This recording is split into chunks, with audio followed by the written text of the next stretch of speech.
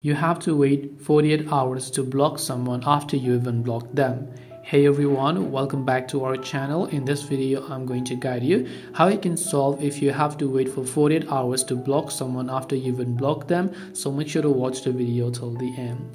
Now basically the problem here is quite simple. If you open up Facebook and Facebook basically asks you to maybe you block someone and then you want to uh, you unblock them and maybe you want to block them right? Because you accidentally unblock them and it says me you'll have to wait 48 hours if you want to block this person again. So that's the problem that it happens now that is not always the case because what you can do is instead of trying to block them directly you can always try to report them. And when you basically try to report them facebook will give you an option to block them. So just come to that person's profile page then tap the three dots option on the right hand side of the screen. Then basically over here you'll find all these options or what you can do is simply go to this option called report profile. Don't go to block option because they will not allow you to block them. So just tap on report profile select harassment or bullying and after you do that you can see these are the other steps that you can take to either block their profile unfollow and unfriend and then tap the done button to block them this way you can solve. If you have to wait 48 hours to block someone after you even blocked them on facebook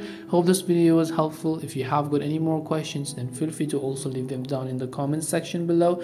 Thank you for watching till the end of this tutorial and see you soon in the next video